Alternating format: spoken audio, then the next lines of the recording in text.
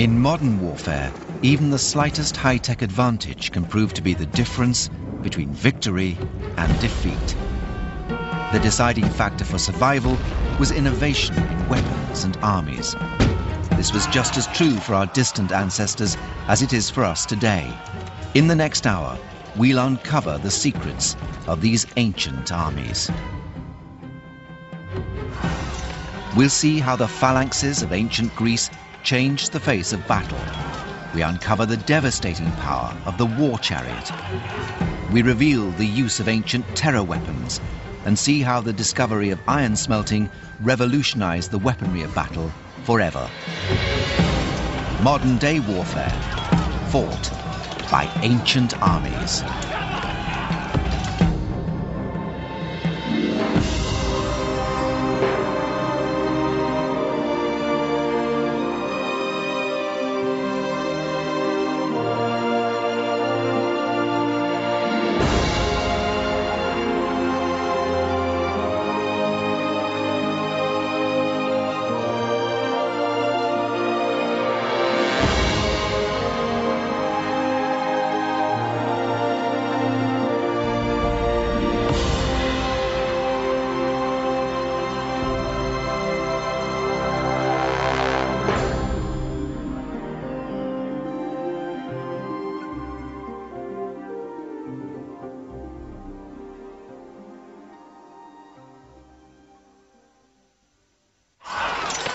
Throughout the ages, warfare between rival civilizations has been an ever-present danger.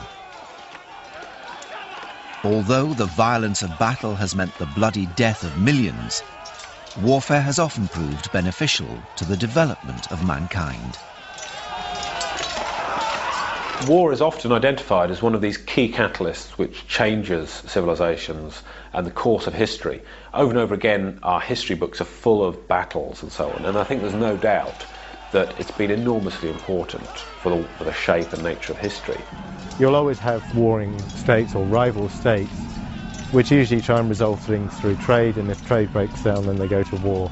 And of course, war has all kinds of knock-on effects in terms of population movements, uh, and you know, there, even from something like that, there are some positive things sometimes that arise.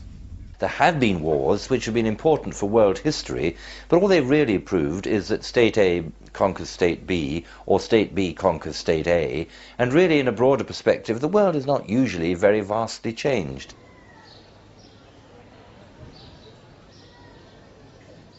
Engravings found on ancient Egyptian sites illustrate that large-scale battle has existed for thousands of years. Warfare on this scale needed to be structured and organized.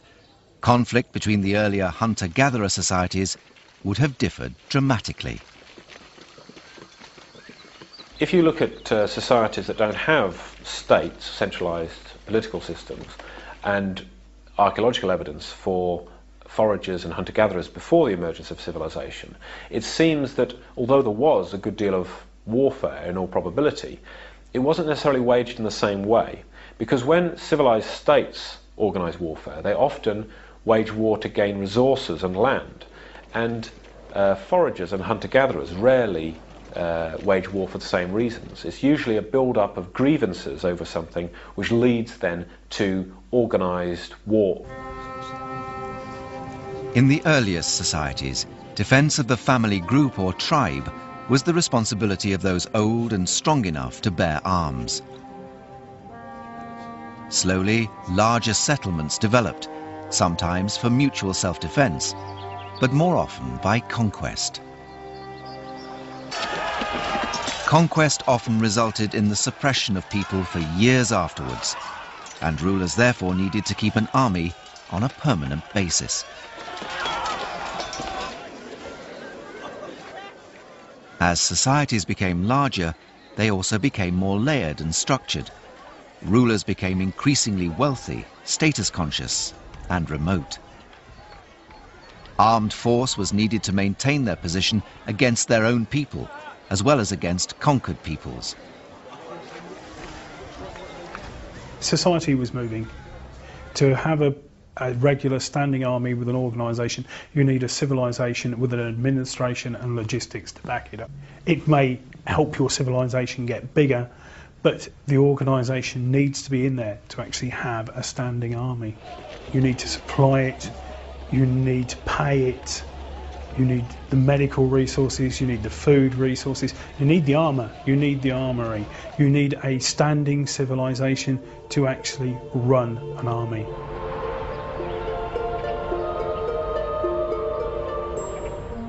As ancient towns developed, fortifications were needed to protect them.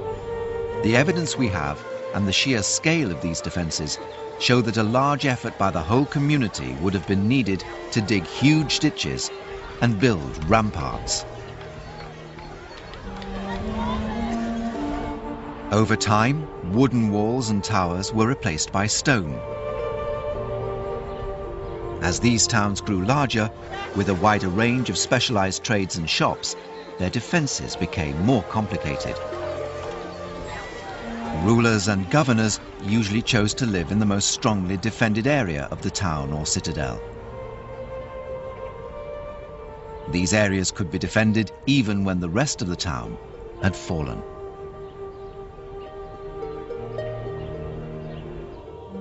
As these ages passed, the construction of large-scale defences such as town walls and fortresses became a specialised craft.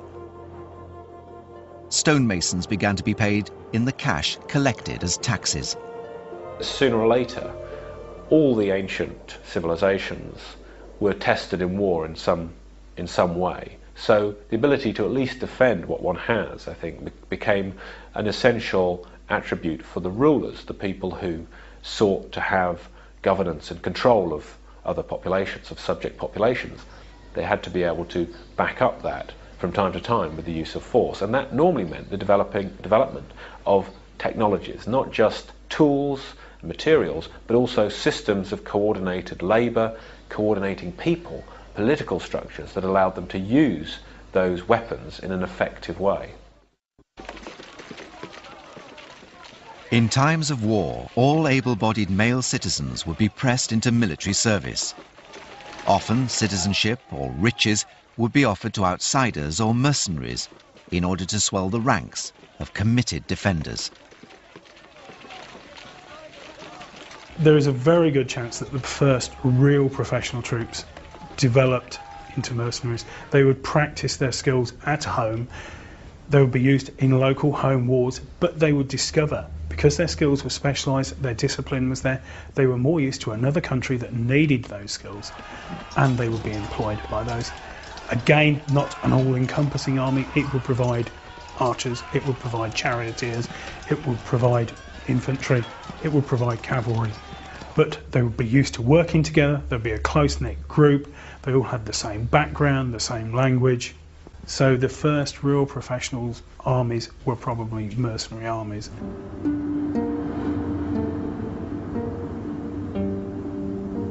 Some consider the first professional army to have appeared in Sumeria, modern-day Iraq, in the third millennium BC. A standing army of around 700 men was created to cope with the almost constant warfare between the city-states of the region.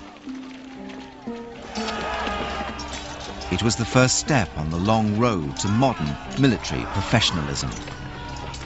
It's true that probably in the Bronze Age, having a longer sword was really uh, important, longer sword than the next person's, just as um, at the end of the Second World War, if you got better rockets than the next man, uh, that was interesting.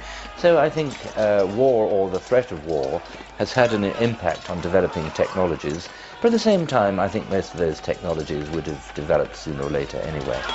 The arms race started as soon as one man picked up one rock and whacked somebody else on the head with it. His, because he wouldn't be in a position to do much, his friends, his neighbours wanted a bigger rock. They wanted a rock on a stick.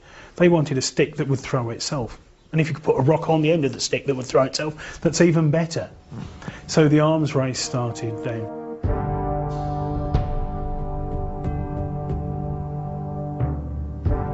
From the earliest times, humans have sought to refine and improve weapons for battle. The very idea of a weapon comes from man. The weapons of early periods were things that were used for other purposes.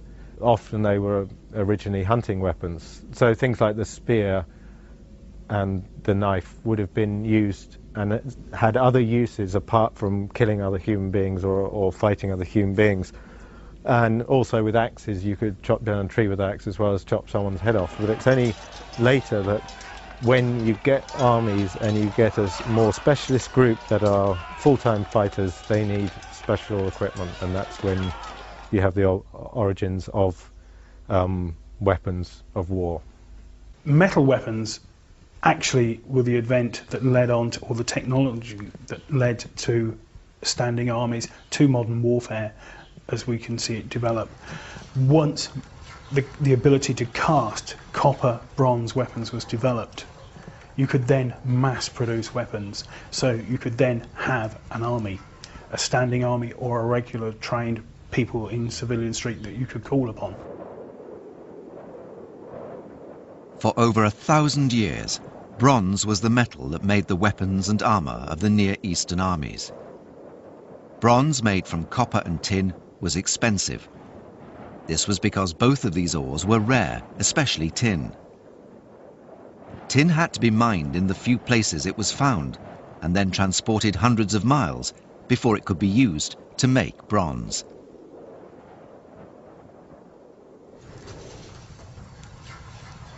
Bronze was cast this meant copper and tin were heated and mixed in liquid form and then poured into a pre-made mould. Originally, these moulds were used to make replicas of existing stone weapons. As early armourers mastered casting, they realized that its flexibility could lead to further improvements in their weapons. People then caught on, why are we following the old pattern? We can actually improve the design. This, this technology gives us the advantage to actually increase what we can do. They then started to develop new weapons from the metal, the copper, the bronze. It could be cast. This also meant you could increase the size of your weapons, whereas a stone head or a wooden head was very limited in size and use. You could develop swords, a long weapon to use for the thrust and the slash. This affects your warfare.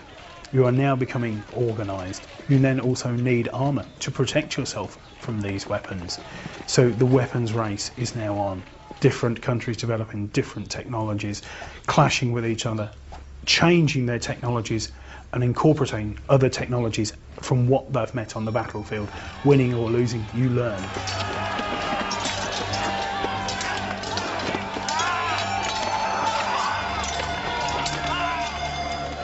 The constant battling of the Mesopotamian city-states in the 3rd millennium BC led to many breakthroughs in military technology.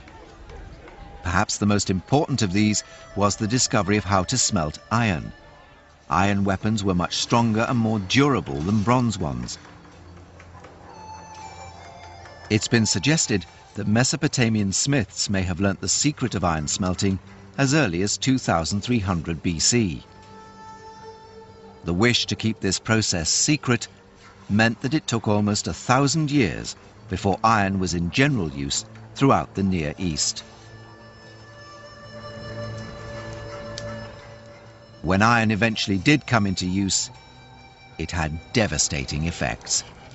The people that made one of the greatest breakthroughs and seemed to manage to keep it at extraordinary lengths were the Hittites, iron. Iron has the ability to cut through bronze and copper. This would make your swords, your spearheads, virtually useless when opposing this sort of army. The Hittites killed to protect their secret of iron. The instant people that noticed the, the Hittite changing technology were the Egyptians. They were quite happy wandering around with large bronze sickle shaped swords and clashed with what was a new opposing and upcoming force the Hittites, and the Hittite army was organised. It didn't depend on bronze, it depended on iron. And as history will tell you, the outcomers, the winners, were the Hittites. They decimated the Egyptians. Warfare in those days was very brutal. There was no taking prisoners. Um, you, you stood and you fought and you died.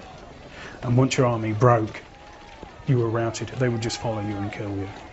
The Egyptians learnt very quickly about the Hittites and iron. The development of the war chariot was a watershed in the history of early warfare. It transformed the nature of the ancient battlefield. Its speed and maneuverability allowed its driver to divide and defeat the enemy. The speeding chariot was an unassailable foe for most infantry troops. Often the chariot would be combined with the deadly range of archers. The mounted archer could move up to a formation very quickly, could shoot at it with their bows, and then run away more quickly than they could be chased by their infantry opponents. So if you can always stay away from your opponent, you, they, can, they can never hit you if you don't want to be hit, and you can always move in quickly and exploit any gap, strike them when you like. You can see why this sort of combination of mobility and archery was so effective in those early centuries BC. The war chariot seems to have been invented by the Sumerians of southern Mesopotamia. These ingenious craftsmen of the city of Uruk first invented a sledge on which to carry their noblemen. Then they developed a sledge on rollers. Following this innovation, it was a short step to the four-wheeled cart drawn by four small horses.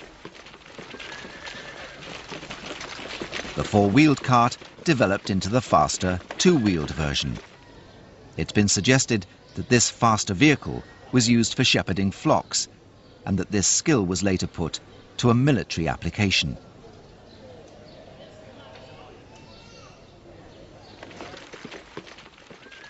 The selective breeding of early horses alongside the improvements in metallurgy and woodworking allowed the development of the war chariot. The two wheels of the chariot were spoked to reduce weight. In fact, the whole chariot with its harness only weighed 75 pounds. The advantage of the chariot over cavalry is that you do not need to train so many people. You have one charioteer and you can have two or three people throwing missiles, archery, etc. Whereas one horse, one cavalryman. This way, two horses or one horse, and you've actually got three or four people able to indulge in combat. But chariots are also as much of a liability as an advantage. Large volumes of chariots that were used by the Egyptians, etc., milling around a battlefield could crash into one another, upset each other, etc. So discipline was needed. The Egyptians developed a technique where small numbers of chariots were used, 10, 25 chariots in a squadron. They may employ up to 1,500 of these chariots in one battle but it would be done in small squadrons, everybody working under command and slowly attacking different points of the opposing army. Chariot warfare proved hugely successful. Chariot societies overran those that didn't use them. The Hyksos took their chariots into Egypt and settled, building the city of Memphis. Aryans from Iran went east with their chariots into the Indus Valley and laid waste to the great civilization they found there. By the second millennium BC, so many societies had learnt of the war chariot's value that it was a common feature of battle all across the Near East.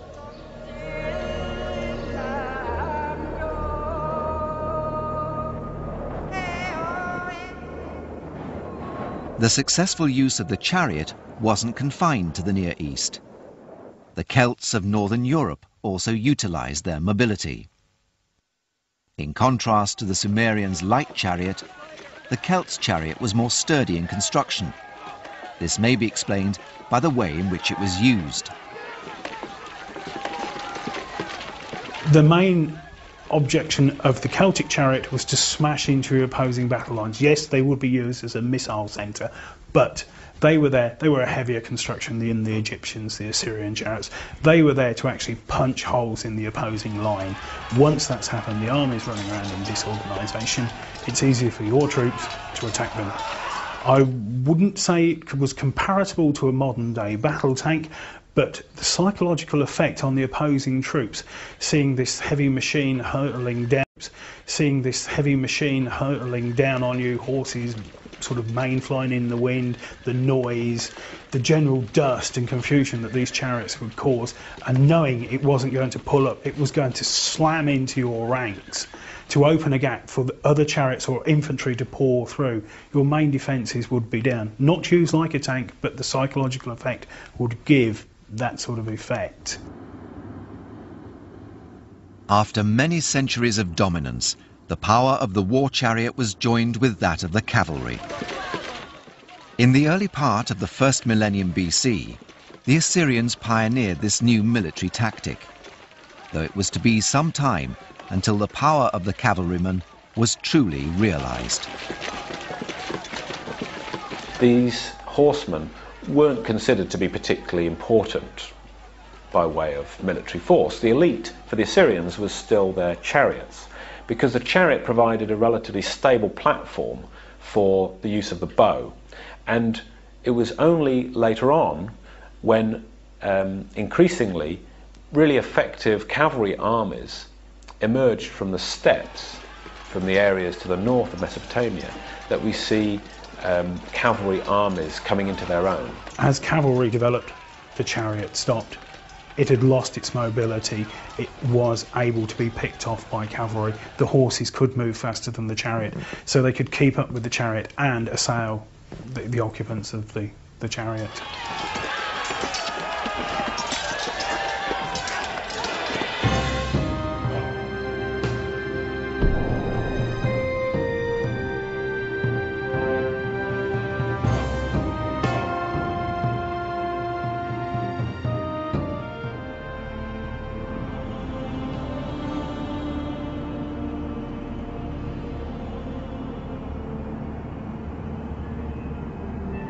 It's been said that the birth of Greek democracy and citizens' rights altered the face of battle.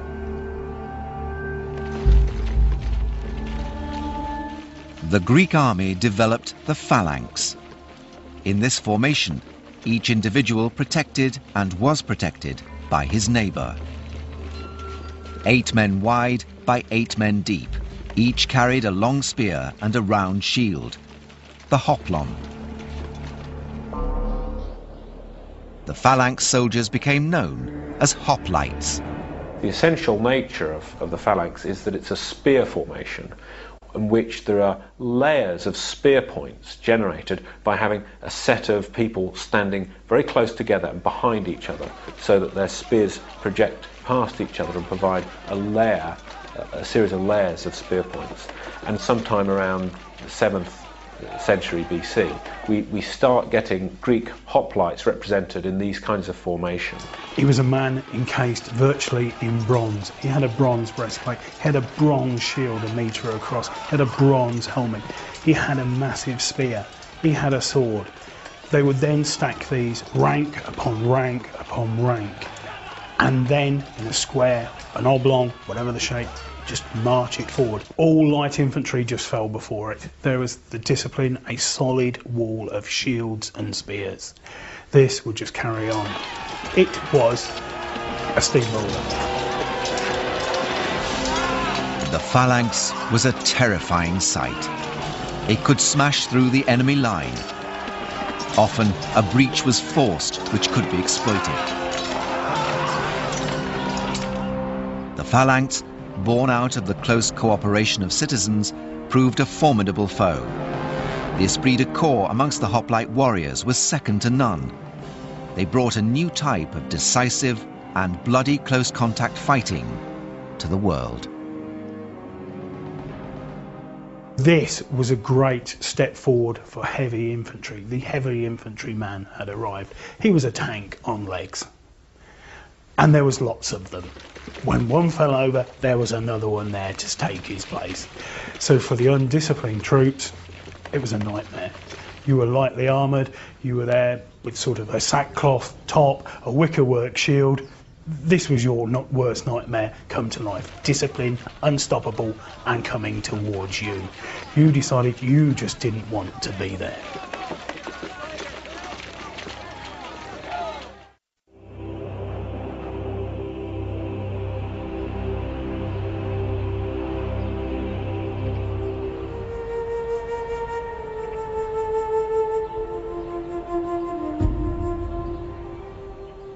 Around two and a half thousand years ago, the great states of Greece and Persia began a war, which ended in the Battle of Marathon. It's the first war in history for which we have a complete and detailed record. It tells us how major military campaigns were planned and carried out.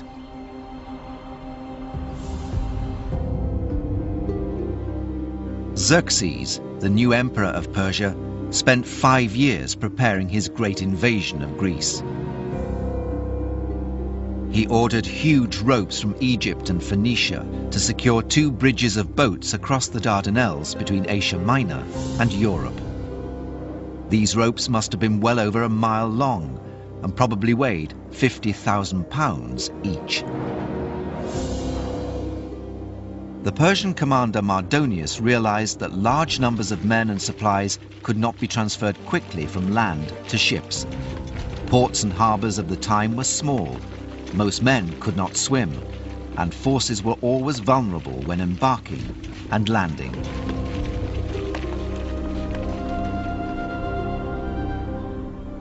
Splitting armies up into smaller units and using different ports was even more risky as the separate units might be picked off one by one. Instead, the Persians not only marched their armies across the sea with their mile-long bridge of boats, they also sailed ships across land by digging a canal through the narrow strip of land near Mount Athos.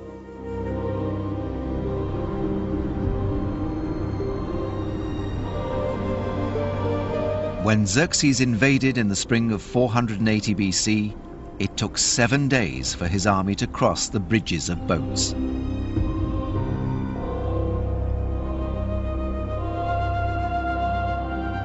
Four months later, he conquered Athens when his troops stormed up a near vertical path to take the Acropolis.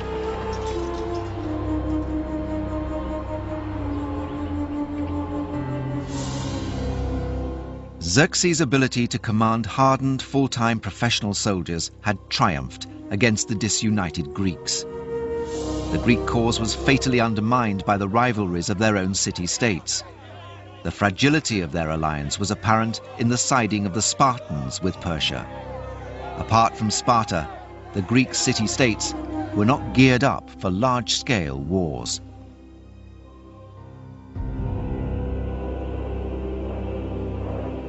The soldierly abilities of Greek citizens and the use of the phalanx formation ultimately proved inadequate in the face of the Persian army. The Greeks spent most of their time fighting each other. The outside world was a secondary concern. It was state versus state. They would employ outsiders as mercenaries, but the Greeks developed their own type of warfare and it was fine for fighting other Greeks who developed the same type of warfare in answer to the one. So it was a very internal, almost interbred warfare. Once the Greeks started to actually meet armies from different cultures, were using cavalry, using a lot more archers, using slinging shots, using javelins, the Greek phalanx started to run into problems. It was then a sitting target for the uh, the lot faster moving cavalry. They would riding, annoy it, wear its edges down, ride out again. You could slowly wear a phalanx away. If it broke to chase you, they were then open. A heavy infantryman couldn't run that fast. Somebody on horseback, somebody with a, a bow, he was an easy target. The day of the phalanx had finished.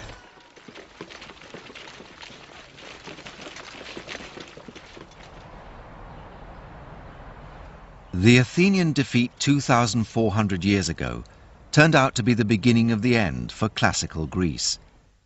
In time, the Greek state would be ruled by the tough northern Macedonians and their increasingly tyrannical monarchs like Alexander the Great. Alexander the Great used mercenaries extensively, but new evidence shows mercenaries were used long before Alexander's time. It seems the Assyrians of Mesopotamia were the first to employ mercenaries. This was simply because native troops generally did not want to serve on long campaigns far from home. They had farms to look after or trades to pursue. mercenaries were essential for the conquest of distant lands and for long sieges. Both battlefield and siege warfare were becoming more specialized. Most professional armies have used mercenaries. The Egyptians, the Macedonians, the Greeks all used mercenaries. They, because they actually specialised in their army developing one type of warfare. If you wanted archers, the Assyrians were very good at this, and these people specialised and trained for years in this. It was easier to employ them than trying to suddenly discover you have a lack in this field and train your own men up and develop the technology for the bows and develop the armoured piercing arrows, etc., etc. The same applies to cavalry.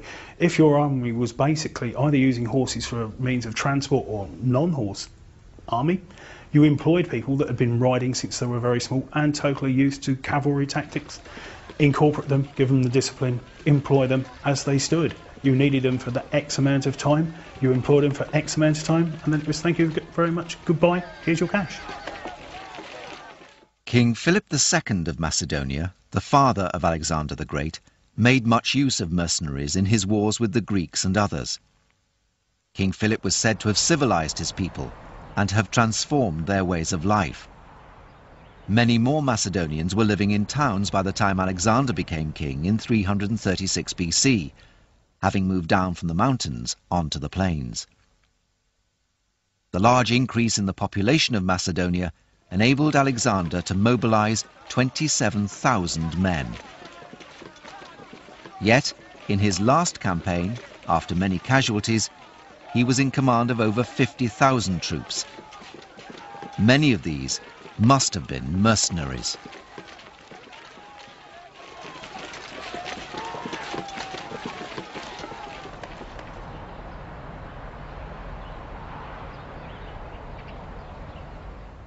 The increase in the population among Greek city-states was a source of great instability. There was not enough land for the people who wanted it. Much of the surplus male population was available for work as mercenary soldiers. The use of mercenaries by the richer city-states of Greece upset the balance of power and brought widespread conflict.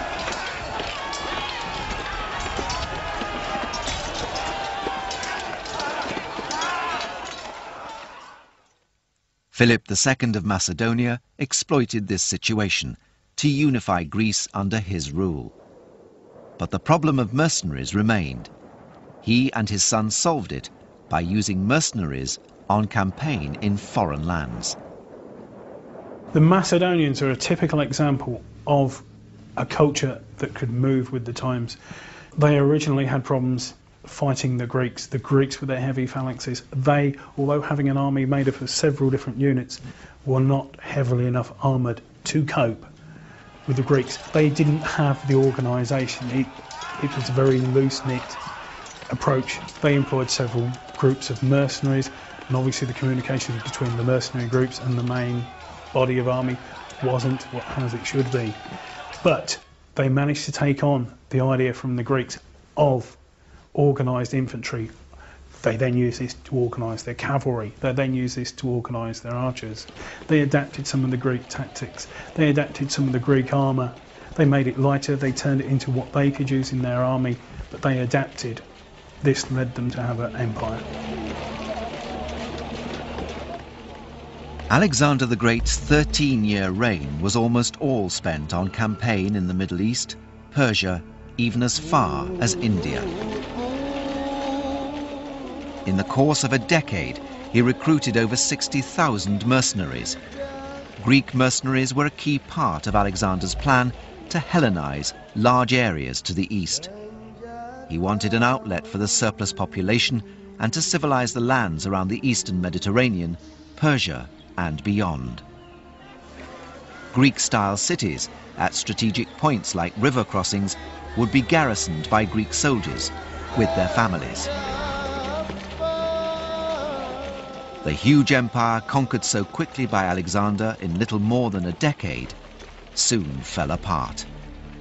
It was eclipsed by an empire with a more modern approach to all aspects of military science, infrastructure, ballistics, tactics, training, fortifications, and lines of communication and supplies. This was the mighty Roman Empire.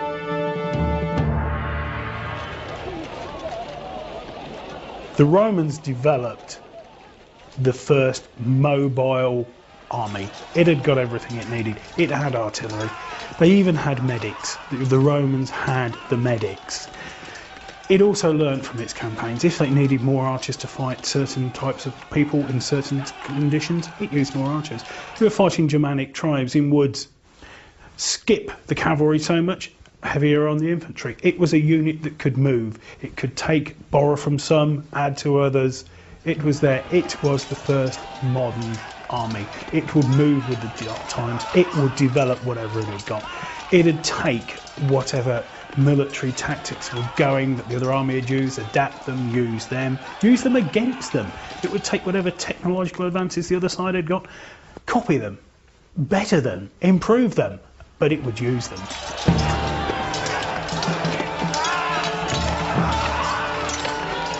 In three major wars against Carthage, a great city in what is now Tunisia, Rome established itself as the leading power in the Mediterranean. But Rome itself had been in grave danger during the Second Punic War, as the wars against Carthage were called. The great Carthaginian general Hannibal made an extraordinary march from Spain across Gaul and then over the Alps. Hannibal had 20,000 foot soldiers, 6,000 cavalry, and elephants, which the Romans had never seen before. These are wonderful creatures that would inspire terror in anybody, hurling towards you, all decked out in armour, turrets on top, throwing spears, arrows, enough to cause panic in the average person, especially if you've never seen a creature like this. You have to imagine these would be used against people that didn't understand what an elephant was. They would transport elephants thousands of miles to a, to a theatre of war. The poor average Roman at the time would not have seen an elephant. He would have cre- thought it was a creature from hell or a creature from the gods descending upon him.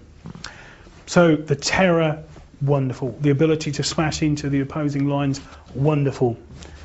Elephants are very intelligent. Elephants suffer pain. Elephants panic. Minor injuries to an elephant would drive it mad. Once an elephant starts to panic, there is no way on telling where it's going to go.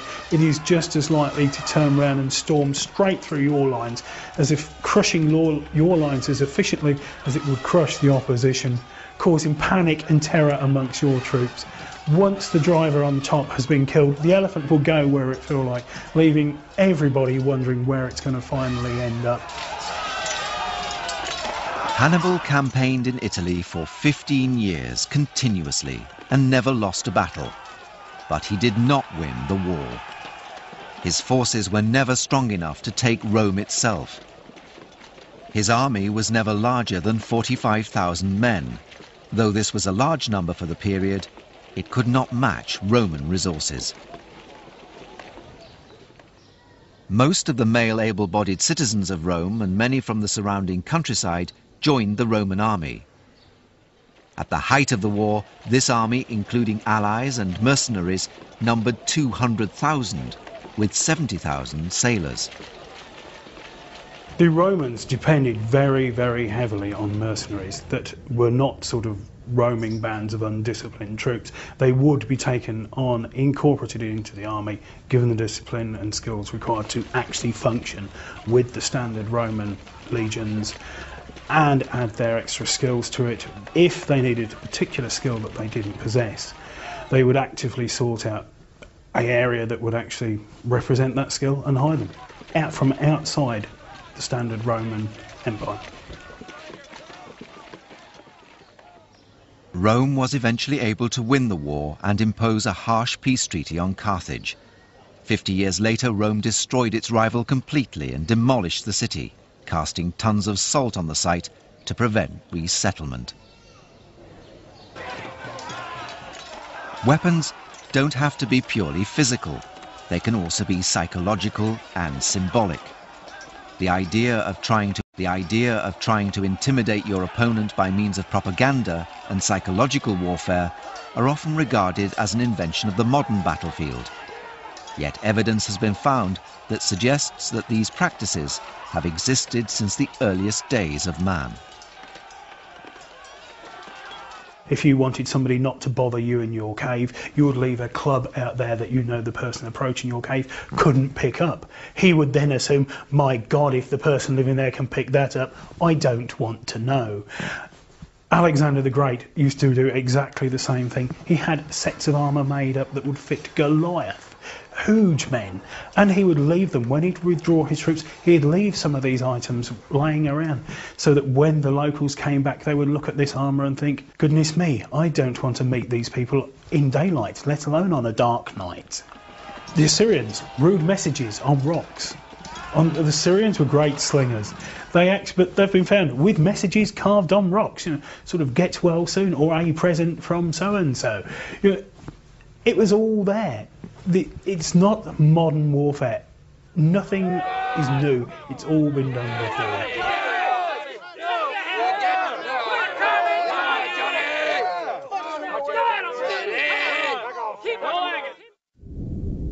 Throughout history, there have been weapons which have been said to have special, even supernatural powers. These legendary weapons have cast fear into the hearts of enemies and awe into those of their own troops. An infamous terror weapon was later developed that took its cue from catapults, but instead of bolts, it shot fire itself. This was the notorious Greek fire. So secret was this weapon that today its exact dimensions are unknown. What is known is that it spread fear and foreboding amongst the troops that faced it. It spewed out liquid fire in the form of a burning combination of naphtha, nitre and sulfur. Naphtha is a naturally occurring substance, somewhat like crude petroleum, and as such it makes Greek fire a forerunner of modern napalm.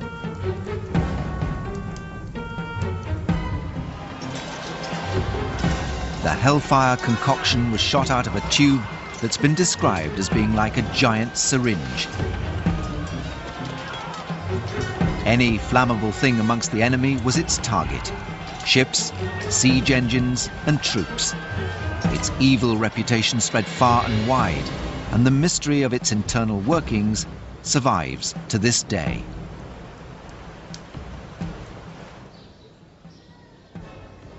The collapse of the Roman Empire in the 5th century AD led to a poorly chronicled period across Europe known as the Dark Ages.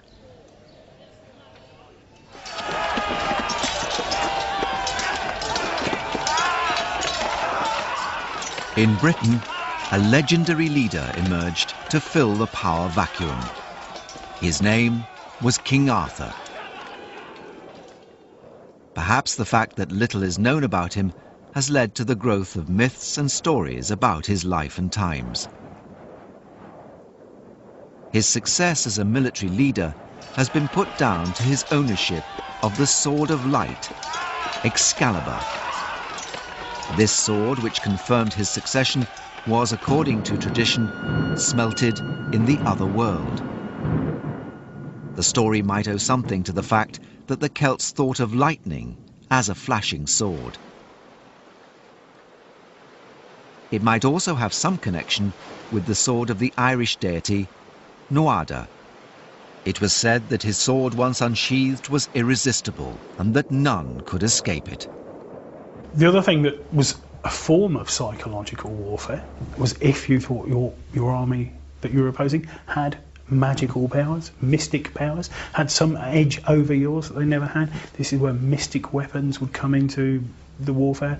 We have things like Excalibur, this mystical sword that could chop through anything it had ever seen in, before it. A mystical sword that would chop through your sword, your armour. So what's the point of opposing somebody like that? All it needs to be is a good quality sword made of good quality steel, pattern welded, whatever. You are a poor conscript, you've been given a bog iron blade, and you are expected to meet this. Yes, it would slice straight through your terrible armour that was the cheapest possible. It would slice through your cheap sword. Yes, you would decide to run as opposed to face something like this. Then the legend starts.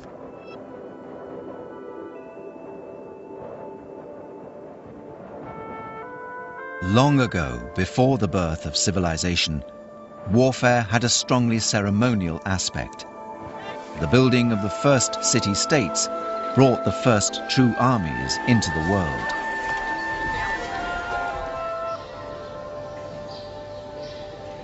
The story of the first armies of the world is one of the utmost endeavor, courage, ingenuity, and skill. It's also one of cruelty and strife. It could be said that our concept of total war is a legacy inherited from the world's ancient civilizations.